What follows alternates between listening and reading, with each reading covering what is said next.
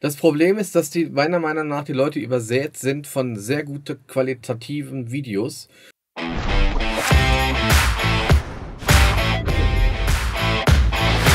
Video Do, einfach bessere Videos machen und dass die das überhaupt dann nicht schätzen, zu schätzen wissen, was da für eine Arbeit hintersteckt.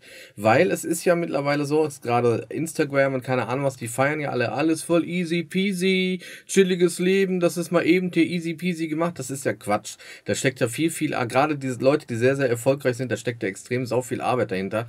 Äh, die sagen dann zum Beispiel auch, du, ich, der Erfolg kam über Nacht, aber da war 26 Jahre Vorarbeit davor. Also das ist, äh, das ist einfach so. Das geht nicht von jetzt auf gleich und du musst dir diese, ich finde, auch, es ist unfair, diese ganze Erfahrung, diese Experience, die man dann gesammelt hat, einfach nicht das zu wertschätzen. Dass man weiß, wenn man zu, ich weiß ganz genau, deine Zielgruppe habe ich schon mal äh, bespaßt und ich weiß, wie ich die erreichen kann und dafür möchte ich auch ein gewisses Honorar haben.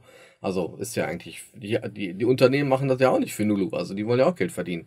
Deswegen, ja, ist, ich bin da noch so, ich habe ja mit der Seite Video Du bin ich jetzt so dran, das so ein bisschen aufzudecken, da den Leuten zu erklären, warum ist das wichtig, Video, wie kann man die Leute erreichen und was bringt dir das? Weil die Leute sehen ja im Endeffekt, die haben alle das Gefühl, man kann das nicht greifen. Die machen einfach, ja, machen wir ein Video und haben aber auch nicht die Ahnung davon, welche Konsequenz dahinter steckt, wenn das Video scheiße ist.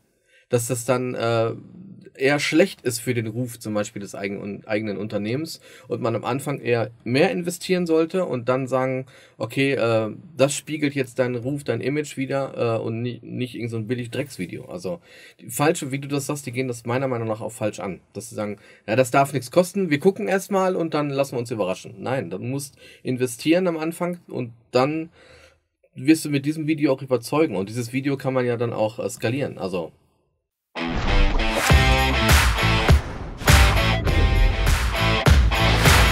Video Do, einfach bessere Videos machen.